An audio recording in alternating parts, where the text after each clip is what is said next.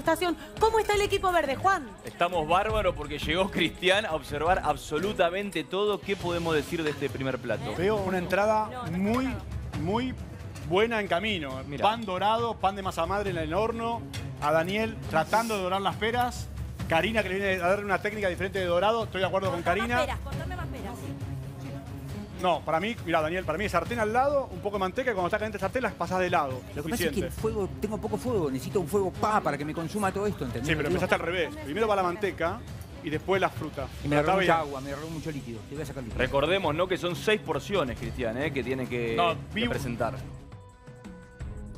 Pega el pan. Eliana, Sartén, ¿qué estamos haciendo? para Pan rallado, condimentando el pan rallado. Me gusta. ¿Qué le estás poniendo? Eh, provenzal, ajo y perejil. Ajo y perejil, Sí. bien. ¿Vos eh, entraste a la despensa? No, No, pero te llegó. me llegó y me parece buenísimo. Rica, ¿eh? Rica Sí. especie. A ver, vamos a verlo.